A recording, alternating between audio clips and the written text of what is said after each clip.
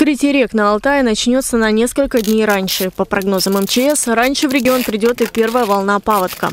К новому сценарию спасатели готовы. За прошедшие дни они провели несколько подрывов льда, чтобы предотвратить ледяные заторы в Бийском, Рубцовском, Тальменском и Красногорском районе.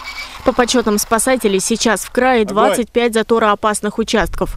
Там выполняют зачернение для более быстрого таяния, распиловку льда, отсыпку грунтом, а также очищают ливневые стоки и вывозят из муниципалитетов снег. В течение месяца в МЧС прогнозируют резкий подъем уровня воды в реках Обь, Бия, Чумыш. Напомним, что год назад первая волна паводка началась еще раньше. В 20-х числах марта под водой был уже Краснощековский район. Насколько сильная будет первая волна паводка в этом году, до сих пор непонятно.